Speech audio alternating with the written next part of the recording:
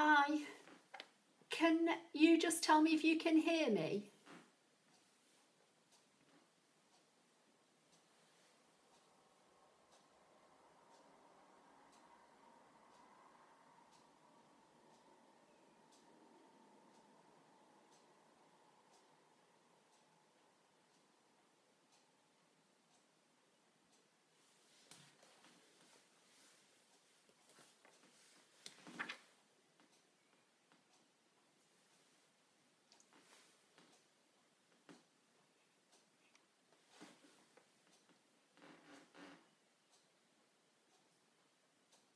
Yes, you can hear me. Great. Okay, so a few weeks ago, I asked if you wanted me to do a Q&A session and I asked you to leave me questions under the video. Now, um, I've got kind of two pages of questions in my pad and some of the things kind of relate to the same thing. So so what I'm going to do, I'm going to try and do a couple of Q&A sessions. This is the first one. And I'm going to try and group together the questions. So Joy, I think it was, asked me how to change the blade and what the difference was between the standard blade and the deep cut blade. So I'm going to cover that today. Somebody also asked me um, about cutting problems, tears, what blade depth, cut pressure, that kind of thing. So they kind of all link together. So that's why I'm putting them all together. And then another question was, what was the difference between the cutting mat and the scanning mat? So I'm going to try and cover that as well. And then if I get time, I'm just going to, I'm going to show you how I made this little flower. This is vellum and I made this flower this morning and this is made from just a simple basic shape that's in the machine.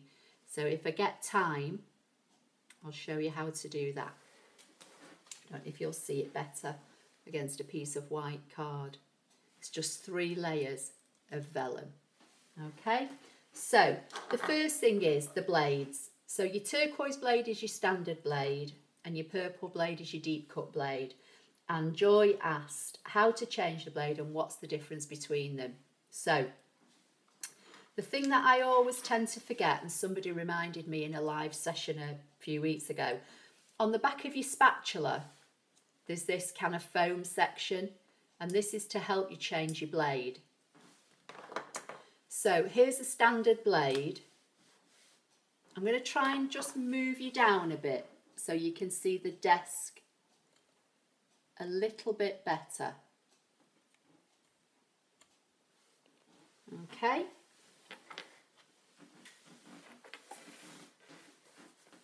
Right, so if you undo your blade and take the cap off, and it's good to do this every now and again and just give it a tap on your desk because bits of debris and things get caught up in there. And the same in this section here. So the first thing to do is, to be honest, I normally try and pull it out with my fingers, but you know, health and safety and all that. So here's your spatula, the back of your spatula. Just press gently the blade tip into the foam section on your, the back of your spatula. Don't press hard because you might take the tip off your blade. Just gently and then remove the holder and the blade sits in there. So that's your standard blade. Now, I'll try and show you. Don't know how well you're going to see this, but your standard blade is an angled blade and it's, I mean, it's quite slim. It's quite a sturdy and strong blade, but it's quite slim. So that's your standard blade. Just going to put that on my, on my table for a minute. And then your deep cut blade, do the same. Unscrew the cap. And again, just some light pressure just to put the blade in there and remove the holder. Now, I'm going to try and show you.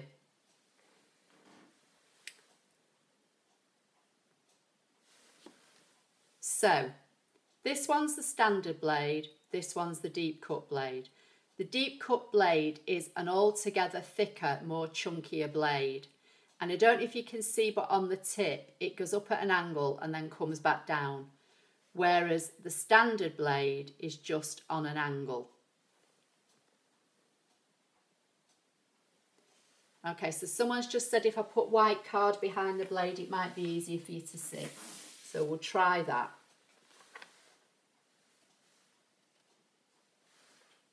Okay, so this is the standard blade and this is the deep cut blade. So your standard blade you use for anything really, card, paper, vellum, vinyl. I even use mine for fabric. Your deep cut blade, the stronger blade, this is more for cutting things like chipboard and grey board, you know, the kind of board that you get on the back of pads and things. That's the kind of thing that you can use for this mount board. Although mount board appears to be quite sturdy, but it's got a spongy middle, so it is a bit difficult to cut. I normally try and stay clear of mount board. Um, but you can cut plastic with it and that kind of thing. So that's the difference between the two. So unless you're cutting some really, really thick media, you don't necessarily need a deep cut blade. And then all you need to do, hold your holder upright and just drop your blade back in and that's it. Put your cap on, turn it as far as it will go until the full of the blade is protruding. I don't know if you're going to be able to see that. And then turn it back to set it. Now I don't use mine very often and I store mine so that there's no blade hanging out the bottom. And then you just do exactly the same with your standard blade. So just drop your blade back into its holder, screw your cap on. And again, take it all the way as far as it will go and then bring it back to set it to whatever number you want to set it at. So that's your blades. So I'm just going to put that in the machine for now and move that out of the way. Um, cut pressure and cut speed and tearing. So let's just move you back up again.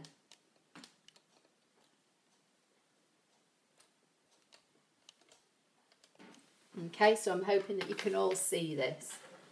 So if you go into the settings on your machine, and go to page two. This is where you've got cut speed, cut pressure, draw speed and draw pressure. Now I've covered this before in a live video, but anything with a black box around a number is a default setting. So if you if you ever tinker about with any of your settings and you're unsure how to get it back to factory set if you like, just plus and minus your numbers until you get a number with a black box around it and that is the default setting. So the cut speed default setting is three. Now on my other machine, to be honest, I always had mine up at five and I never moved it. But with this machine, since I've got it, I've just left it on three and not touched it and I've not found any difference. So the speed, I think, is entirely up to you. The only time I would take the speed down is if I'm cutting something quite delicate and I just want to take my time with it. Cut pressure, the default is zero. I have mine on one. Again, it's entirely up to you. You can play about with the settings and find what suits you best. If you're cutting something and it tends to be tearing it and dragging it, you know, sometimes when it kind of ruffles the card up within your design, then that usually means your cut pressure or your blade is too high and generally the pressure. The blade, as I've said before, the blade depth is the amount of blade that shows coming out of the end of the holder.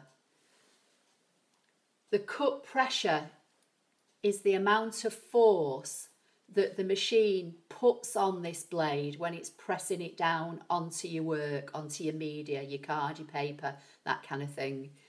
So if you're getting ripping or tearing or dragging, and your pressure's up quite high, take your pressure down and see how you go. Leave your blade as it is and take your pressure down. If it's still doing the same and you've got your blade on quite high, then take your blade down. Or when I say quite high, you might not think it's high. You might have it on four and think that's not high. Just take the blade down as well. It's a little bit of trial and error until you get to know how your blade and your machine cuts with the with the media that you use the most. But I would always say do a test cut. I mean, when you go to the home, when you get to the pattern, there's a test cut function here and you choose any one of those shapes and it will put the tiniest little shape on your mat and you can move it around. Don't know if you can see it moving there on the end of the cursor. You can position that anywhere you want on your media so it's out of the way and your machine will cut your test cut first before it cuts any other design that may be on your mat. And you can keep moving it and re recutting the test cut until you're happy with the settings and then you can cut your design. So that's hopefully explained a bit about the blades.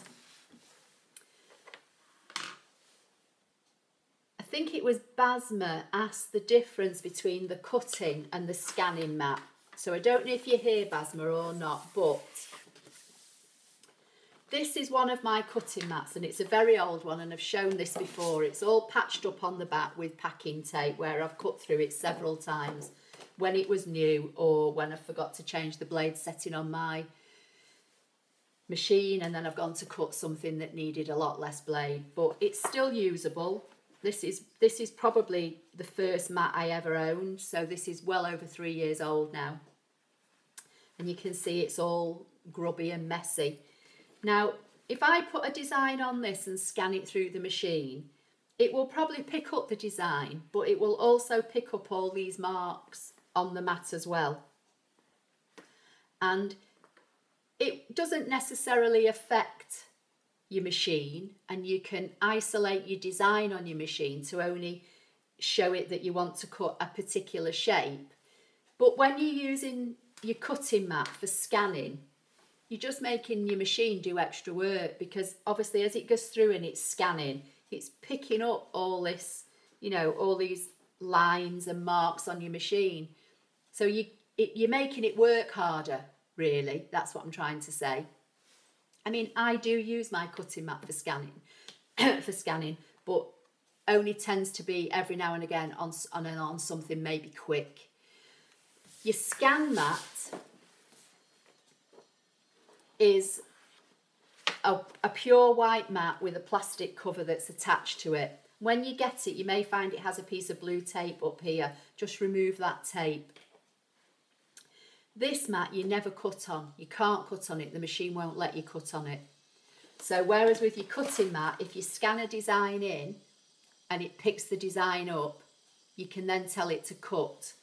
With the scanning mat, you can't. It's a nice, crisp, white, clear background. And if you look after it, you'll only ever have to buy one.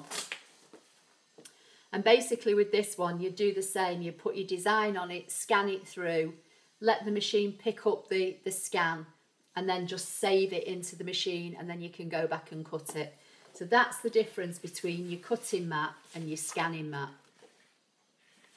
So I don't know if there's any questions. I'm just going to have a quick drink while I'm waiting to see if you've got any questions.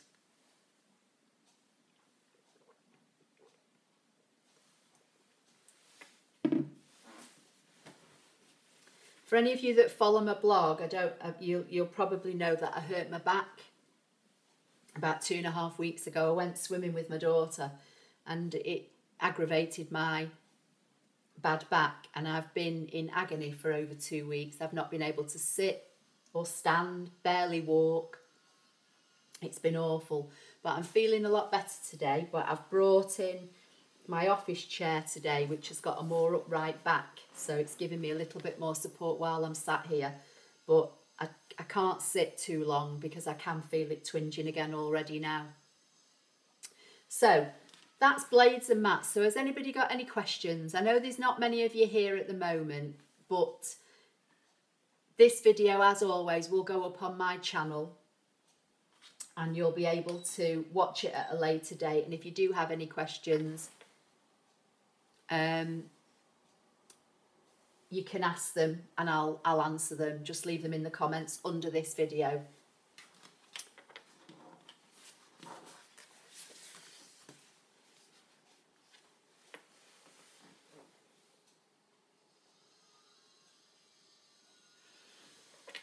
How do you read? How do you resize a design over several pages? Is that on the machine or or in Canvas?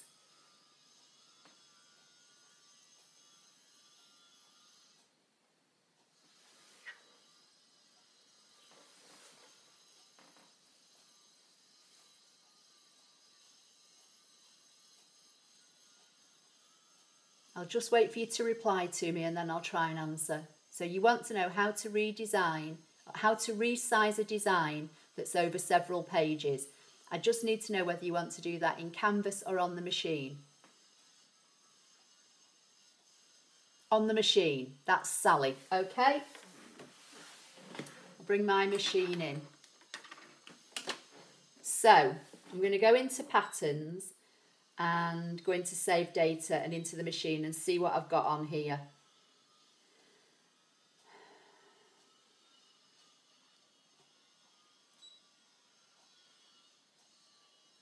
And can I just say, if you can hear a funny noise, there's some work being done on a house next door. I can hear it. I'm sat in my kind of sunroom, craft room, but I don't know whether you can or not. Um, but anyway, I'm just just putting that out there. Right, let's try and find something. Okay, so let's just say I wanted to choose this design and I put it on my mat and it's basically it's the, the card shape I did a few weeks ago and I've got all these other pieces here with it. So let if there was a part of this design on another page, what you need to do is you need to go to add, go back to your other page. So I'm just going to go to save data and the machine and I'm just going to find something else, something random.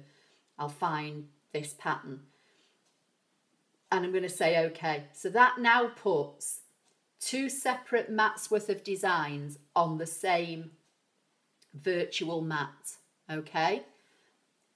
So all as you need to do now is just bring them all together. Go into your editing icon, which is the top left. It's the one that looks like the square, triangle and circle. Go to the three red boxes. Select everything, because that's going to select everything that's on this mat now. Say OK and group. Now that all moves as a group, but that started out as two different designs from two different save files.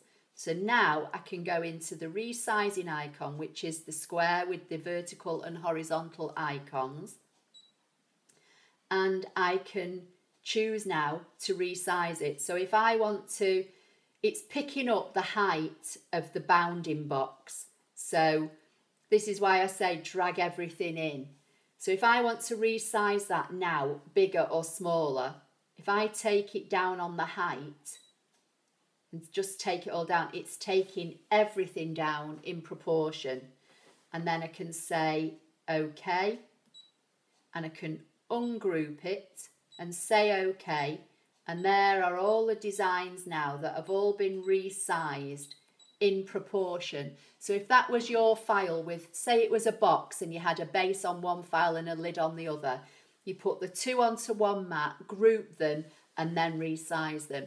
And then when you're ready to cut them, all as you need to do is, so if I, if, if I wanted to cut this shape first, I would just choose everything else and delete them. But what you need to do, if you're going to do it this way, you need to save the design before you delete anything because you've resized it. So you want to save it and then be able to get rid of those because you might not have enough space on your mat to cut everything in one go. Does that make sense?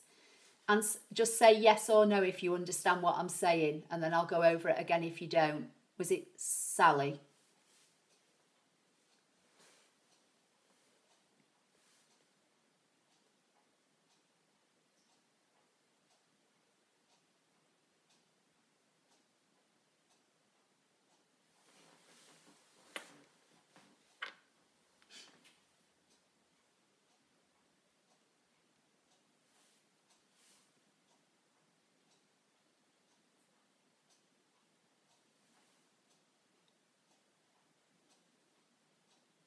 Okay, Paula said she's got that, but I don't, oh, it was Sally. Yeah, okay, so you understand that. So basically, if you bring two elements on and resize them together, save it before you cut it. So just go to save, put it, say, in your machine, and what it will do, it will ask you, do you want to overwrite the original or save a new one? I would save it as a new one, and then your original design is still as it was.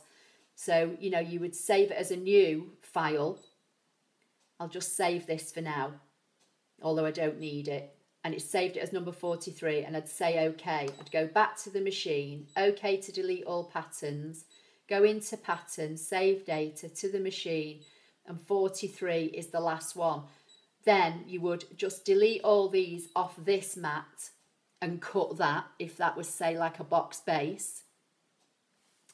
And then you go back to the home button bring the pattern up again. So back to save data machine, back to 43, and then put it on your mat. And then the next time you delete that and cut the rest.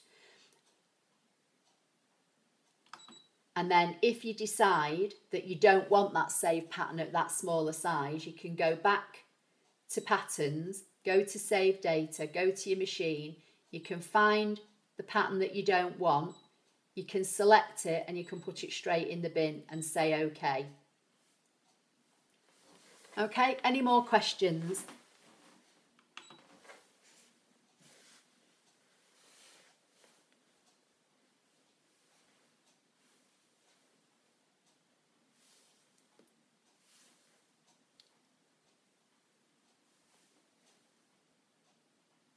I just say while I'm waiting, somebody else asked me how you how you do filled in text or a filled in shape. So, okay, you weren't saving it before. Yeah, that's what you need to do. If you're going to bring two things onto the mat and resize them, then save it. Okay. Otherwise, if you don't, if you delete one and then you cut one part, you've got to go back and put everything back on and resize it again. Does that make sense? It just saves you some time. Okay, so these are some little thank you cards that I made. I don't know why I made them because I'm probably never going to use them, but if you have a look at this, this looks like a stamped image, but this is a font that I have on my computer that I made the word thank you with the font converter. And if you're not sure what the font converter is, on my YouTube channel, go to the playlist and there's a font playlist. You'll find all the information in there.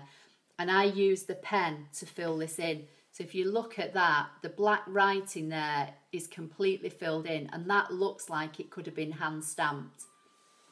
So somebody asked me how you do that with text and how you do it with shapes. So that's going to be probably the next Q&A. And I've actually got a little project. I'm not sure if I've got it here. Yeah, I've got a little project, a, a simple, this is going to be a Stash Buster project. And I've used the same thank you smaller and I've filled it in. So again, it looks like a hand stamped image. So I'm going to cover that in one of the Q&A sessions, probably the next one.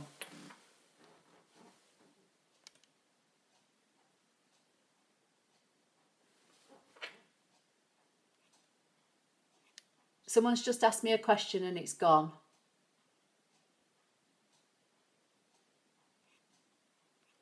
And I don't know how to get it back. It was, think it was if you have more than one pattern, but I couldn't see what it said. So if you can ask me again, I'll try and answer it.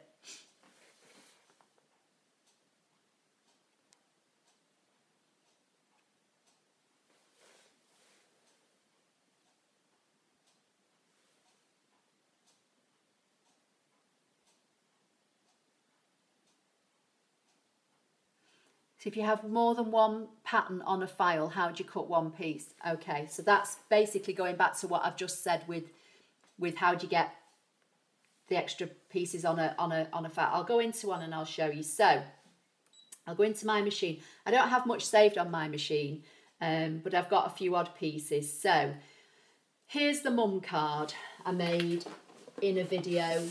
Um, if I've got it here, but I've not got it now. Oh, I've not got it. Okay, so a few weeks ago I made a mum card. And it consisted of a base card and some layers. Okay, so if you can see there, there are three things on this mat. And that's one file. So if I just want to cut the shaped card and not the other two pieces, all as you need to do is go into the icon in the top left hand corner that's got the box, square and the triangle.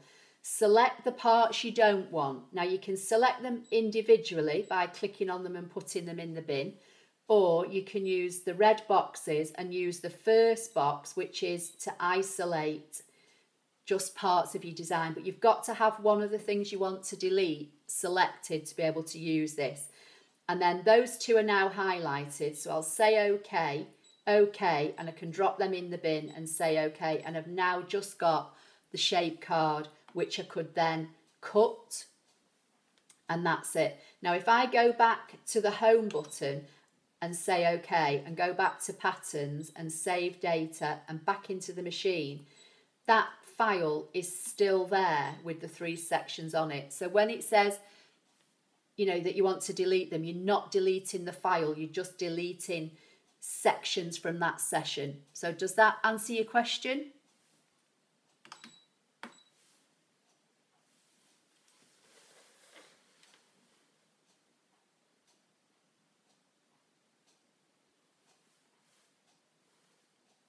Okay, so has anybody else got any questions?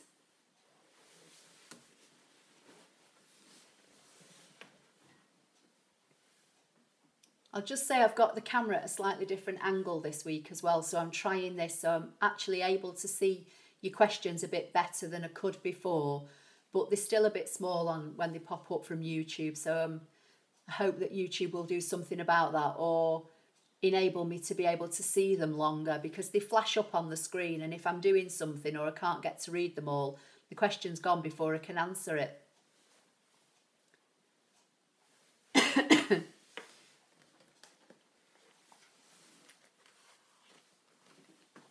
So has anybody else got any questions they want to ask me before I go? Or actually before I move on, I'm going to try and show you how to cut this flower.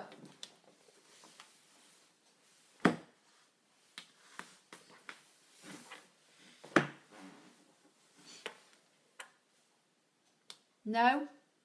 Okay, so I'm going to try and show you how I made my little flower where it is. This little vellum flower. Have I ever cut cardstock or chipboard? Yeah, I cut cardstock all the time, all different types of cardstock, and I've cut chipboard.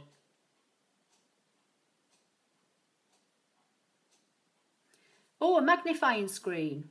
What do you do with that? Do you put it on the front of your iPad? That sounds interesting.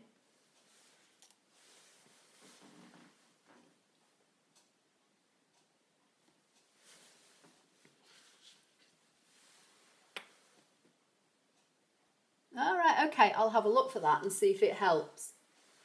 Right, um, flower. So this started off as a basic shape. You can do this in canvas, you can do it on the machine, whichever you find easier. If you, uh, to be honest, I find they're made to work with books, but you but they work with screens. Okay, brilliant. I'll have a look for that. Thank you. Um, I prefer working in Canvas because it's a bigger screen area and I can zoom in and I just find that easier. But you can do this either in Canvas or on the machine. How to do custom projects directly on the ScanNCut canvas? What do you mean? Just ask me that question again, sorry. So what I'm going to do, I'll try and start showing you how to do this flower and I'll look for the questions as well. So pattern, basic shapes. You need to scroll down, I think it's to page seven. trying to do two things now. I'm trying to scroll here and look at the screen. And you want this pattern, this shape here, which is on the top row and it's fourth from the left. And it's BA A094. Okay, see you. Thanks for being here. So it's this shape here. I'm going to take it down smaller. It doesn't matter what size you take it down to because you can adjust it once it's made. But for the for the video, I'm going to make it not too small so that hopefully you'll be able to see it. So I'll probably make it about, that'll do, just under two inches, 1.84. And I want five. So I'm going to click under number, the plus button until I've got five and say set. And that's now brought the five shapes onto the mat.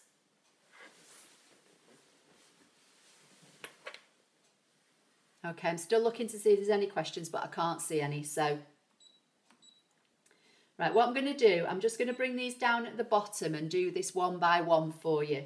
So the first one you want to rotate. So you go into the editing icons, which is on the top left-hand side, and then you go into the resizing handle and you go to the rotate hand, um, icon and I'm going to rotate it 90 degrees twice. It doesn't matter which way, you just want the petal shape so that the point is at the bottom.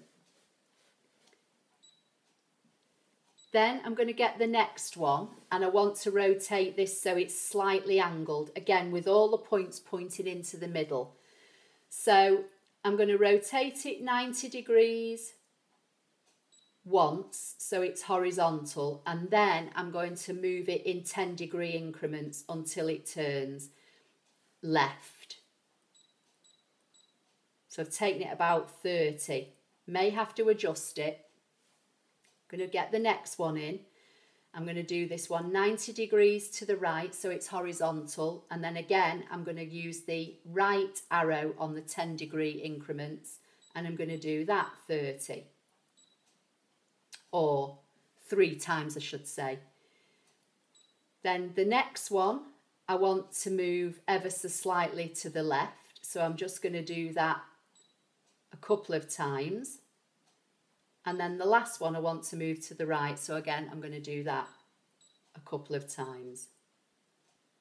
And then for now, I'm going to say okay. So I'll try and move you in a bit more. I'm going to say OK again, and then I'm going to zoom in. Hopefully you might be able to see this a bit better. So now all as I'm going to do is position these little petal shapes so that all the points point in towards the middle and I'm leaving a gap between them. Now, I don't know if you can see, but these two need to be adjusted left and right. So I'm going to go back to the editing icons, back to the angle um, icons. I'm going to move this one a couple of times to the left and this one a couple of times to the right. And then again, I'm going to come back to OK and zoom. You do have to play around with this. It's easier to do this in Canvas because obviously you've got a much bigger screen and you've got your mouse to make things easier for you.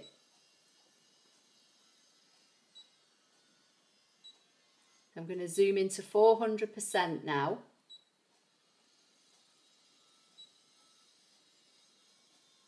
And just position these. And when I'm happy with the position, I'm going to say OK.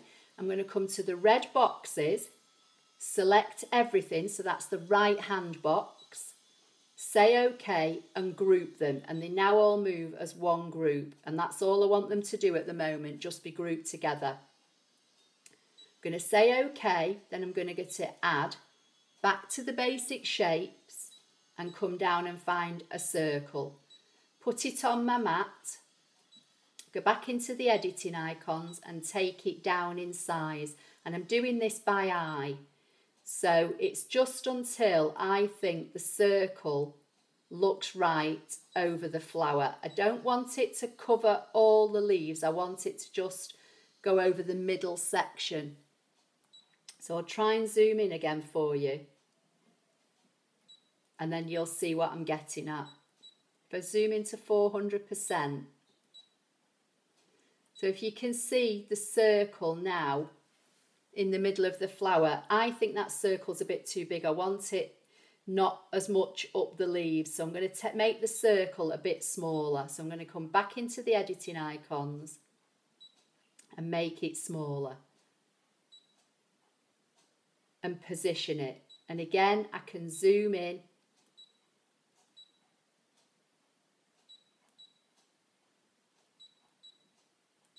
can bring the flower over into the middle of the card eh, onto the middle of the mat so I've got a line running down the middle so it might make it easier for me to see and position the circle.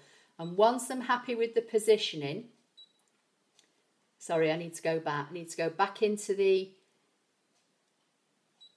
editing icons and then I'm going to weld and that's that's what it's going to look like if I'm not happy I can say cancel and I can go back and jiggle around with the position of the leaves or the circle. But that looks okay to me and I'm going to say okay, okay. And then I can resize it from there. So the one that I've just shown you, this base flower, I think was about two inches. So you just go into the editing icon, take the size down,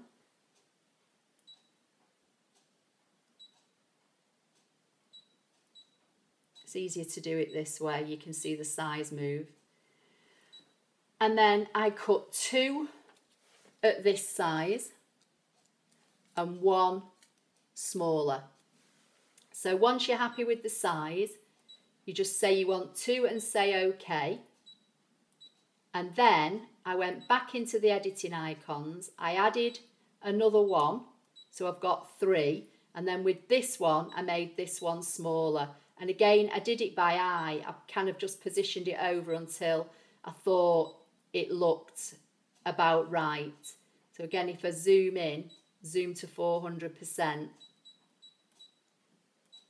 can see the little one over the bigger one. And if I think it needs to be made smaller still, I just go back and make it smaller. And then I just put all three on the mat and I cut them in vellum and then I layered them up and I've just put a little paper brad in the middle and I've applied a little bit of Wink of Stella to give them a bit of glisten on the leaves. Don't know if you can see that. So that's how I made that and that's just from a basic shape. So has anybody got any questions on that? Just to have a quick drink and my back's hurting me now. I'm sat, been sat here for about 40 minutes or so. So if you've got any questions, if you'd like to ask them me,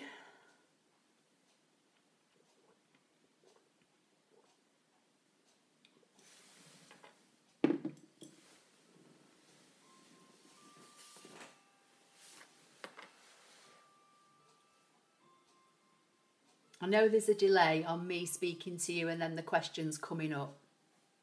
So that's why it's just going a bit quiet for a few minutes. But if you've got any questions, just let me know.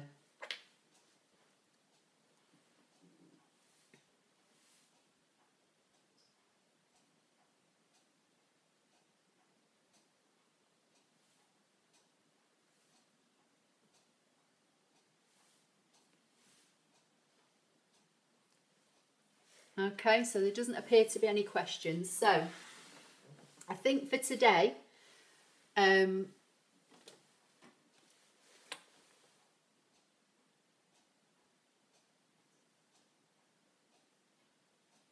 Someone's just put, it looks like I've missed this one. Which one? What for missed?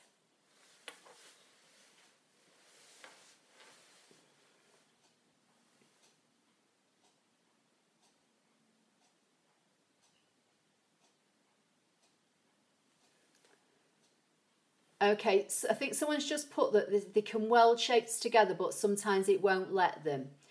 Um, it might be if you have got a seam allowance on a shape and you're trying to weld it to something else, the machine won't let you do it. I don't know if that might be um, something that, that you've encountered. How to do custom projects directly in ScanNCut Canvas. If you go onto my YouTube channel and go to the playlists, the person that's just asked that question, there is a specific playlist for ScanNCut Canvas. Um, just for anybody that is new, on my channel, I've got various playlists. So I've got all my videos are put into playlists.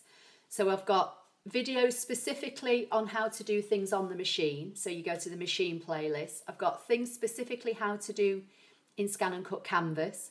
So you'd go to that playlist. I've also used a program called Inkscape in the past and I still do use it from time to time. And there is a video coming up next week that is an Inkscape project. So there's a playlist for Inkscape. There's a playlist covering projects that are already in ScanNCut Canvas. So the, the, the projects that Brother provide us. So there's a playlist, I think, from memory on that. There's a playlist on my sewing projects. And there's a playlist for fonts, specifically anything to do with fonts. And there's also a playlist, I think, that has some videos in that are like really just for beginners. So if you're new to my channel or you want to know how to do something, go to the playlist and go through all the playlists. They're all listed there, and you'll probably find the answer to the question that you're looking for. Because I think from memory, I've got something maybe like 250, 300 videos on my channel. I mean, I've been doing this now for over three years, so there's, there's probably going to be a video about it on there. So I hope that helps for the person that's just said to do a project directly in Canvas. Um, I forgot what I was saying now, sorry. Anybody else got any questions then before I go?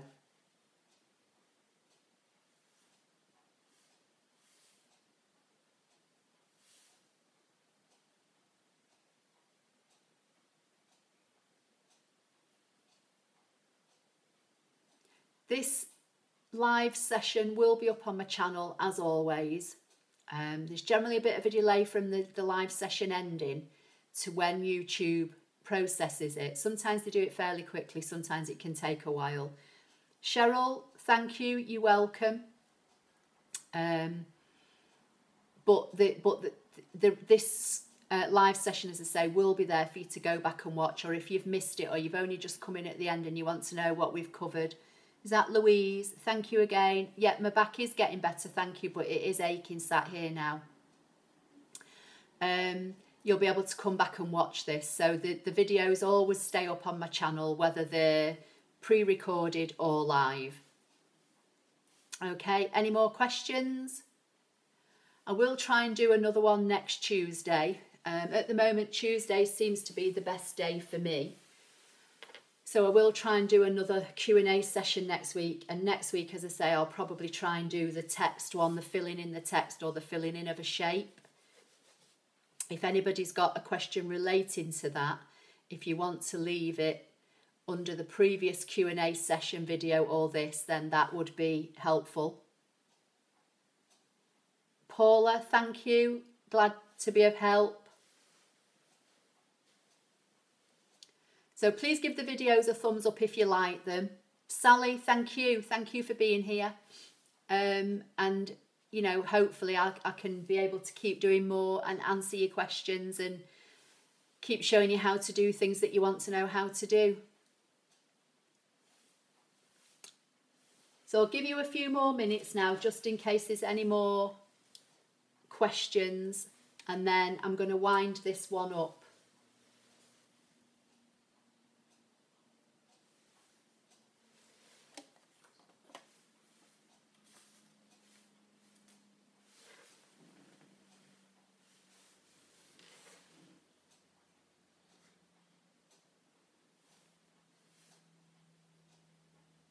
Okay, well, there don't appear to be any more questions popping up, so I'm going to say bye for now. I've been on for 45 minutes. as I say, this will go live so you can come back and watch it. Oh, Louise, thank you. That's lovely of you to say. Um, but, you know, I just mess. That's all I do. That's how I've learned. I've, you know, asked questions, played about with the software and machines over the years, various cutting machines, and, you know, just tinker about. And I'm just not scared to do anything really and in you know in software i just mess about and if it doesn't work i use the undo button and i just keep plodding along until i can work things out but thank you anyway louise and i'm glad to be able to have helped you okay so i'm going to go then now guys so thanks very much um there will be a video going up on my channel next week i've already pre-recorded it i did it yesterday but I will try and do a live session as well next Tuesday if I can. And as I say, on the live session, I'll do the filling in of text and the filling in of shapes with the pen tool. So I'll see you all soon. Thanks for being here. Sylvia, you're welcome. Thank you. And I'll see you hopefully all in my next video or my next live session. Thanks a lot. Bye.